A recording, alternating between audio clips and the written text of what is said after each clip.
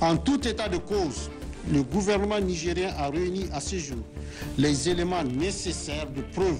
pour poursuivre devant les instances nationales et internationales compétentes le président déchu et ses complices locaux et étrangers